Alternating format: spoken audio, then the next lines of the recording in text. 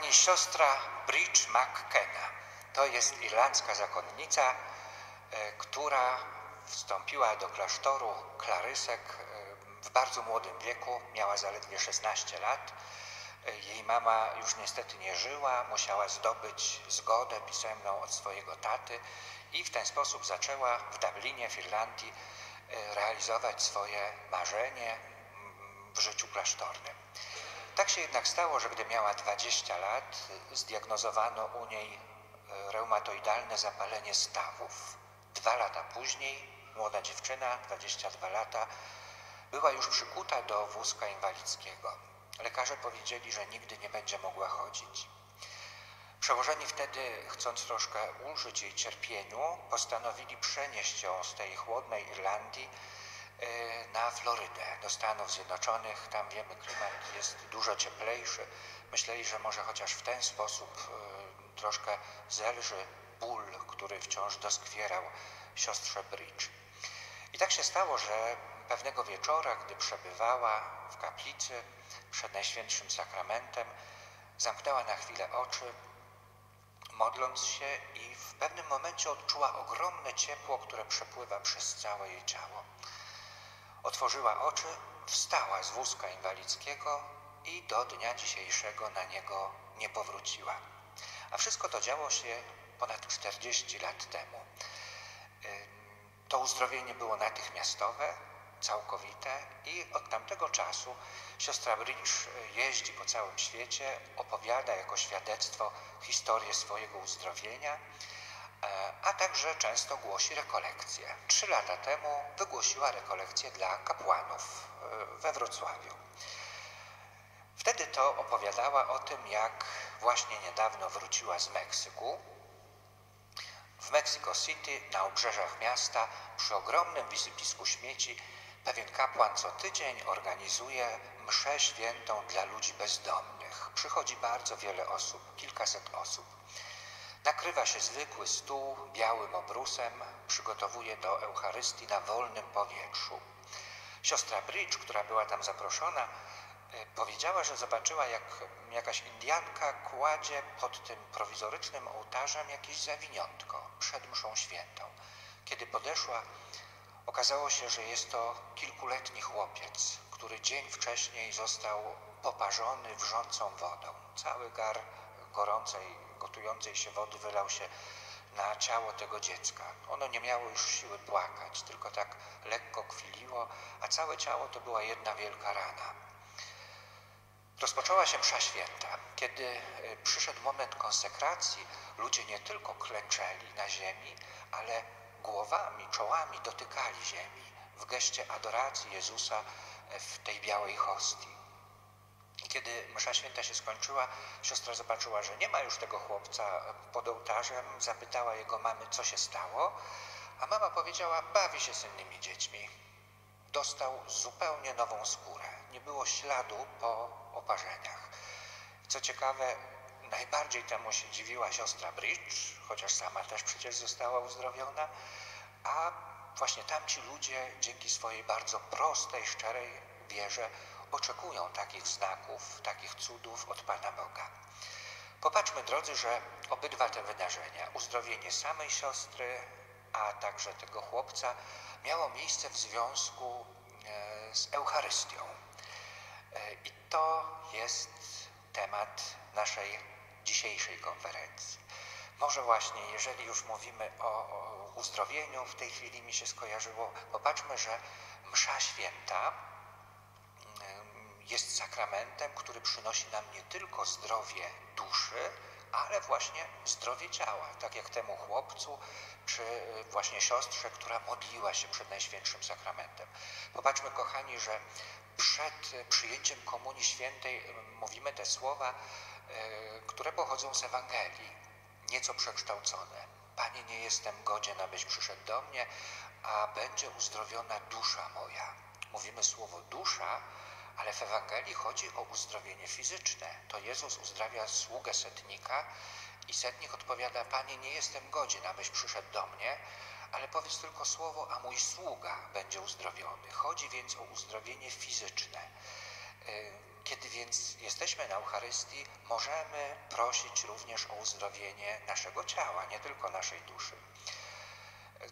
Pewnie troszkę niedokładne było to tłumaczenie z łaciny, kochani, bo wiemy, że kiedy msza święta była po łacinie, to rzeczywiście tam padało ta, takie zdanie et sanabitur anima mea, anima, czyli dusza, ale anima w języku łacińskim bardzo często bywa używany na określenie całego człowieka, nie tylko jego duszy.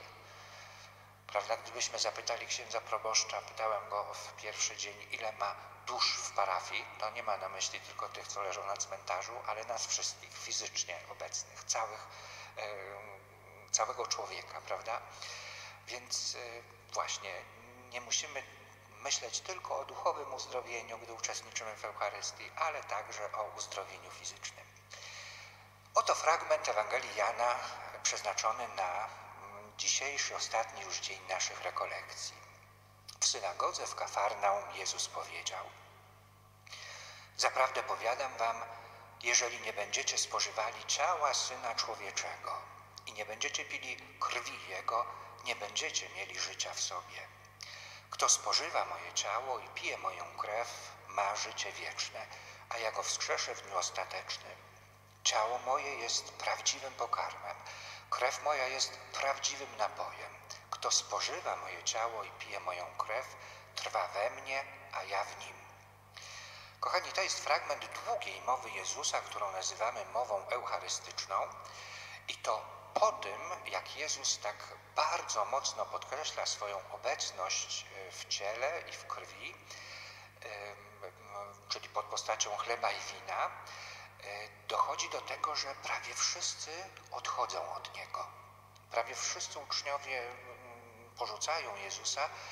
Także Jezus zapyta apostołów, czy i wy chcecie odejść? Piotr odpowiada, Panie, do kogóż pójdziemy? E, tylko apostołowie się ostali, dlatego że wszyscy pozostali Żydzi byli zgorszeni. Dlaczego? Po pierwsze, to tłumaczenie, które tutaj mamy w Biblii Tysiąclecia, ono nie jest zbyt dokładne. Kto spożywa moje ciało i pije moją krew, ma życie wieczne. Kochani, gdybyśmy chcieli dosłownie przetłumaczyć, to mamy słowo nie spożywać, ale gryźć. I mamy słowo nie ciało, ale mięso. Pewnie tłumacz nie chciał tak bardzo naturalistycznie tego oddać, ale gdybyśmy dosłownie chcieli to powiedzieć, to trzeba by powiedzieć, Jezus powiedział w synagodze w Kafarnaum, jeżeli nie będziecie gryźć mięsa Syna Człowieczego i nie będziecie pili krwi Jego, nie będziecie mieli życia w sobie. E, czyli tak bardzo mocno Jezus podkreśla swoją realną obecność e, w chlebie i winie.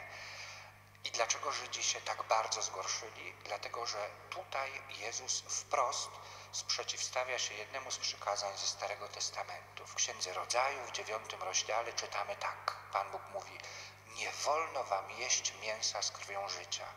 Żaden Żyd nigdy nie skosztuje, przepraszam, kaszanki albo cokolwiek z krwią, bo to jest nakaz Tory.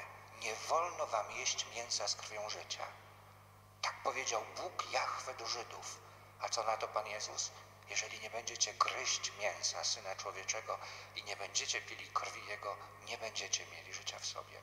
To jest jedyny moment, kiedy Jezus wprost sprzeciwia się jednemu z przykazań Starego Testamentu. I nic dziwnego, że wielu Żydów było tym tak bardzo zgorszonych.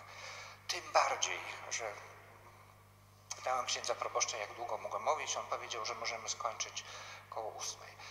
Nie będzie może tak długo, ale dla tych, którzy się interesują Biblią, powiedzmy, że specyfiką, specyfiką Ewangelii Jana jest to, że Jan specjalnie wprowadza pewne nieporozumienia pomiędzy Jezusem a rozmówcą i później dzięki temu, że to nieporozumienie narasta, Jezus zaczyna je łagodzić i wtedy wszystko wyjaśnia.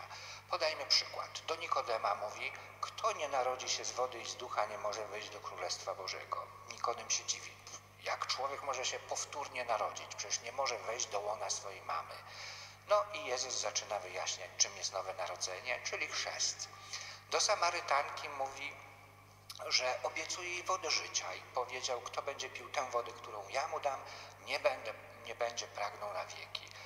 Ona myśli o zwykłej wodzie i mówi, Panie, dawaj mi zawsze tej wody, bo tu studnia jest głęboko, a ja nie mam czerpaka. A Jezus zaczyna wyjaśniać, że wodą życia jest Duch Święty, czyli chodzi o sakrament bierzmowania. I tak można nawet w Kanie Galilejskiej, popatrzmy, wydaje się, że dochodzi do napięcia między Jezusem a Maryją. Nie mają już wina. A Jezus mówi, a czy to moja lub twoja sprawa? I później znowu sytuacja się łagodzi i wyjaśnia.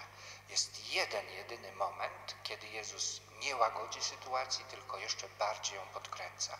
To właśnie jest mowa eucharystyczna. Kiedy Jezus kilkanaście razy tam powtarza, że jeżeli nie będziecie spożywali mojego ciała i nie będziecie pili mojej krwi, nie będziecie mieli życia w sobie. I pomimo tego, że wszyscy odchodzą, Jezus dalej pozostaje przy swoim. Nie wyjaśnia tego. E, czy w znaczeniu nie łagodzi tej sytuacji. Widzimy więc, jak bardzo zależy mu na tym, aby e, pokazać e, istotę naszego chrześcijańskiego życia sakramentalnego, jakim jest między innymi Eucharystia. Chciejmy więc, kochani, pozwólcie przypomnieć ostatnią wieczerzę w kontekście żydowskiej Paschy. Wiemy, że Jezus, który ustanowił Najświętszy Sakrament, czyli Eucharystię w czasie ostatniej wieczerzy, uczynił to podczas uczty paschalnej. Żydzi co roku świętowali Paschę, upamiętniając y, wyzwolenie z Egiptu. I w czasach Jezusa ta uczta paschalna miała identyczny przebieg jak na kilka wieków wcześniej i identyczny przebieg, jaki ma dzisiaj wśród Żydów. Żydzi są bardzo mocno przywiązani do tradycji, nie zmieniają e, tego schematu uczty paschalnej. Dlatego chciałbym e, Was, drodzy, zaprosić do tego, abyśmy przyjrzeli się teraz, jak wygląda żydowska uczta paschalna i na tle tego schematu, który jest stały od dwudziestu kilku wieków, popatrzyli na to, co dokonało się w wieczerniku. Otóż żydowska uczta paschalna opiera się na takim schemacie czterech kielichów wina, które należy wypić podczas tej uczty. Rozpoczyna się wtedy, gdy już wszyscy domownicy zebrani są przy stole, każdy ma określone miejsce, prawda? Ojciec siedzi na przedzie stołu, obok niego żona jako pani domu, synowie po jednej stronie, córki po drugiej, od najstarszego do najmłodszych. Taka jest żydowska tradycja.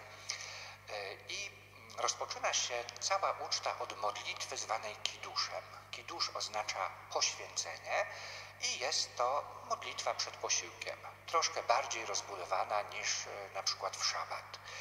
I tu już jest ciekawostka, ta modlitwa zwana kiduszem e, odsyła nas do Eucharystii. Mianowicie padają tam słowa, które słyszymy również w każdej mszy świętej. Błogosławiony jesteś, Panie Boże Wszechświata, bo dzięki Twojej hojności otrzymaliśmy chleb, otrzymaliśmy wino. Ojciec wypowiada słowa modlitwy, wszyscy odpowiadają Amen i wychyla się pierwszy kielich wina. Następuje dalej tak zwana Haggada paschalna. Hebrajskie słowo Haggada oznacza opowiadanie. Polskie słowo gadać pochodzi od hebrajskiego Haggada. Wiemy, że kiedyś w Polsce obecność Żydów była dużo większa i mamy więc też takie językowe wpływy. Jak powinien ojciec rodziny wygłosić tę Haggadę? Otóż powinien wygłosić ją w taki sposób, aby wszyscy, którzy siedzą przy stole, poczuli się uczestnikami wyjścia z Egiptu. W praktyce wygląda to tak, że jedno z dzieci, dzieci to się często tremują, przygotowują do tego, musi uroczyście zadać pytanie, dlaczego ta noc jest taka ważna? I wtedy ojciec, odpowiadając na to pytanie, mówi tak: Ta noc jest taka ważna, bo dzisiaj Pan Bóg nas wyprowadził z Egiptu. Dzisiaj przeszliśmy przez Morze Czerwone, dzisiaj zatopił wszystkich Egipcjan i dzisiaj przeszliśmy przez pustynię i doszliśmy do ziemi obiecanej. Wszyscy się czują tak, jakby byli uczestnikami tych wydarzeń nie wolno ojcu rodziny powiedzieć, ta noc jest taka ważna, bo 33 wieki temu, to było w XIII wieku przed Chrystusem, Pan Bóg wywiódł naszych przodków z Egiptu.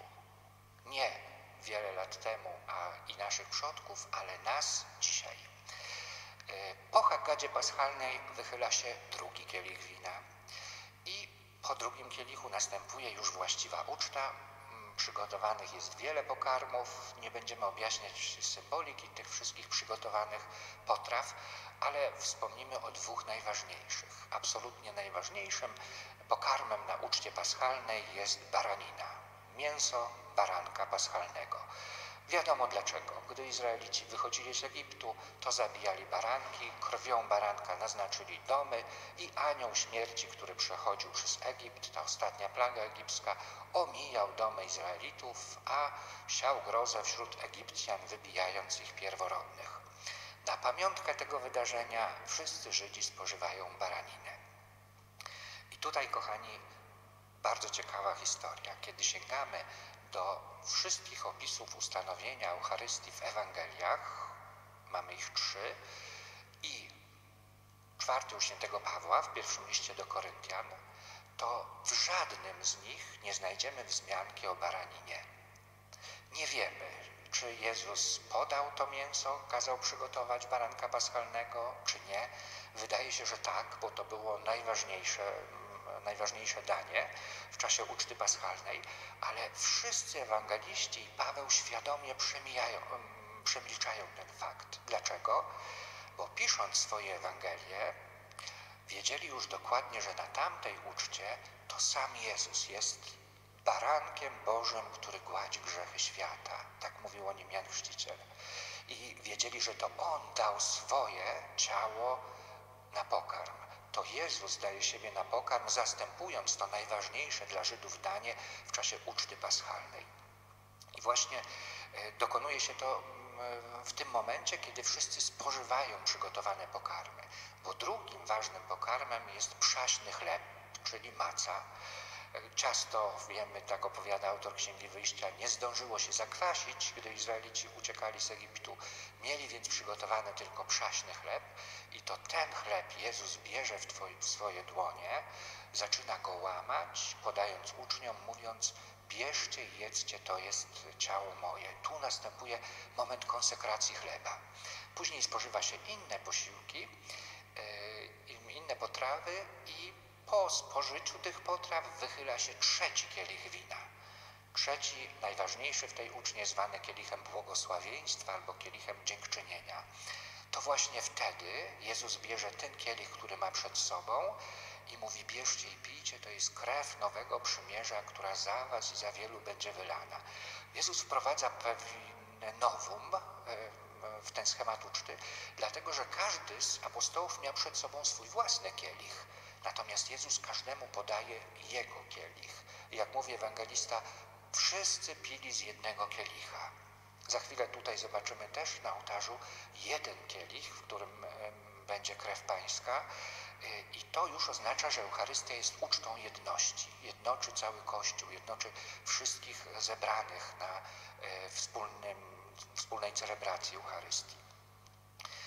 I drodzy, po konsekracji chleba, po konsekracji wina, Jezus wypowiada słowa, które w pewnym sensie są punktem kulminacyjnym ostatniej wieczerzy. Mówi, to czyńcie na moją pamiątkę. I teraz jest niezwykle istotna rzecz.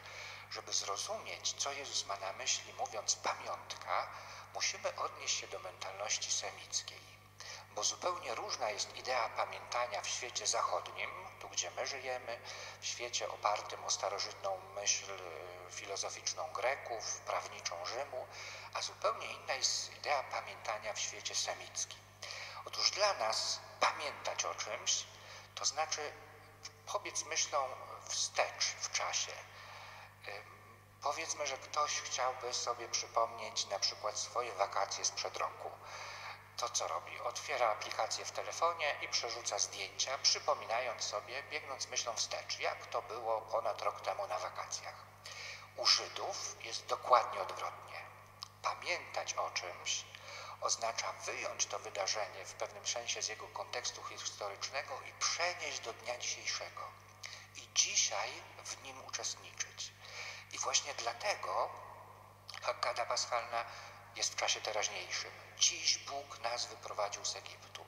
Właśnie dlatego, gdy będziemy przeżywać Triduum Paschalne i, i usłyszymy piękny egzultet, pochwałę paschału symbolizującego Chrystusa, to wiele razy w tej pieśni usłyszymy, jest to ta sama noc, kiedy Jezus zmartwychwstał, tej właśnie nocy, nie takiej samej, albo podobnej do tamtej, kiedy Jezus dwa tysiące lat temu zmartwychwstał, ale dokładnie ta sama.